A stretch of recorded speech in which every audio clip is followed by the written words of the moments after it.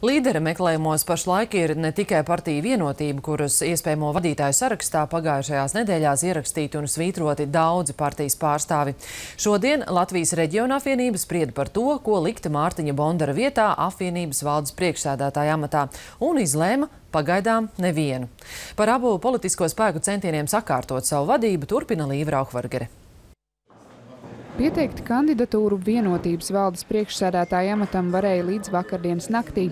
Šobrīd tādu ir trīs. Pirmais oficiāli pieteicās Rīgas domas deputāts Vilnis Čirsis. Vēlāk uzaicinājumam kandidēt piekrita ekonomikas ministrs Ārvils Ašerādens. Daļa partijas biedru izvirzījuši arī pašreizējo priekšsēdētāju vietnieku Edvardu Smiltēnu. Pagaidām viņš formāli piekrīt kandidāta statusam, taču gala lēmumu par startēšanu pieņemšot sestdienu partijas kongresā.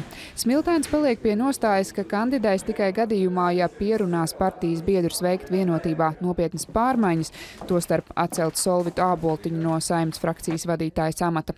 Spriežot pēc tā, ka partijas valde nolēmusi ļaut pieteikties arī pēdējā brīdī kongresā sestdien, acīm redzot tiek liktas cerības uz vēl kādu kandidātu.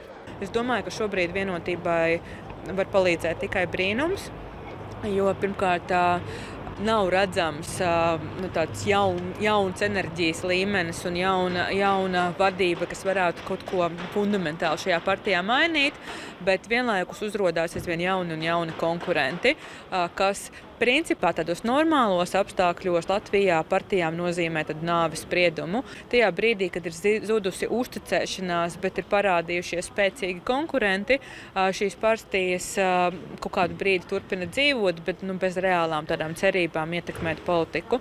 Taču vienotība nav vienīgā partija, kuras iekšienē šobrīd noris plašas diskusijas par to, kam un kādā virzienā turpināt attīstīt politisko spēku. Latvijas reģionu apvienība kopš jūlija beigām ir bez valdes priekšsēdētāja. Mārtiņš Bondars šo amatu pameta pēc tam, kad viņa paša pārstāvētās apvienības politiķi bija pieņēmuši viņam neizprotams un nepieņemams lēmumus. Šodien Latvijas reģionu apvienība aizslēgtām durvīm tikās saimā, lai plānotu plānotu apvienības tālāko nākotni.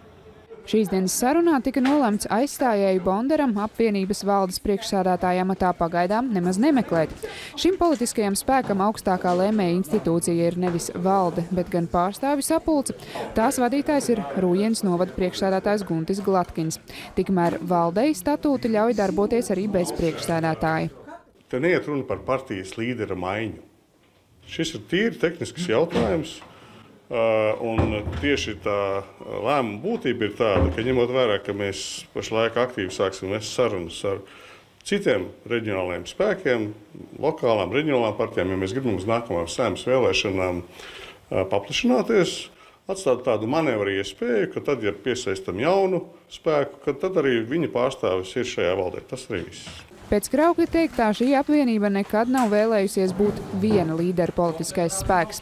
Iveta Kažoka uzskata, atstāt apvienību bez spilgta līdera nedaudz vairāk kā gadu pirms saimas vēlēšanām ir strateģiska kļūda. Viņa to vairāk skaidro nevis ar nevēlēšanos būt par viena līdera apvienību, bet gan ar problēmām šādu personību savās rindās atrast padomājot par, nu, teksim, par parlamentā ievēlētajiem cilvēkiem no reģiona apvienības.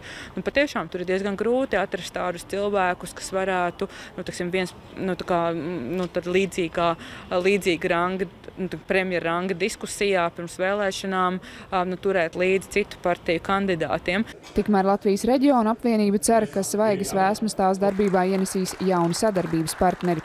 Kuras partijas tās varētu būt, netiek atklāts. Mārtiņš Bondars pārliecināts, ne jau amatu ieņēmējos ir vaina, bet gan kopīgu vērtību trūkumā. To parādīja, piemēram, krasi atšķirīgi viedokļi par Ingunu Sudrabu kā oligarhu sarunu parlamentārās izmeklēšanas komisijas vadītāju. Apvienībai jāizlem, kas tā būs, par ko tā stāv, par ko tā iestājās. Šobrīd nav skaidrības viņam? Nu, redziet, jūlija mēnesī saimas, saimas balsojumu, tur īsti nav skaidrības attiecībā par to, kādā veidā iestartēt nākamajās, ja, ja būt nākamajās saimnes vēlēšanās, ar ko, kādā veidā, nu, tur, ir, tur ir liels debats.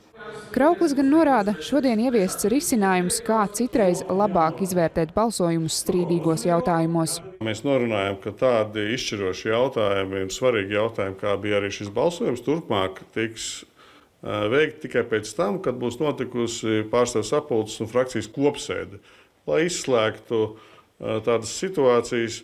Iekšēju šķelšanos vērtību dēļ Krauklis neatzīst. Lībrauka Vargera Zigurds Eicēns, Latvijas televīzija.